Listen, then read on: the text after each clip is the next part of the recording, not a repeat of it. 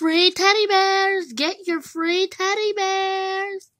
Excuse me there, young lady. Would you like a free teddy bear? No, thank you. Hey, madam, would you like a free teddy bear? Go and get a real job. Come on, get your free teddy bears. I know you want one. Come on. Ugh. I'm never gonna get a job. This teddy bear job sucks. hey, kind of look just like me. I gotta run.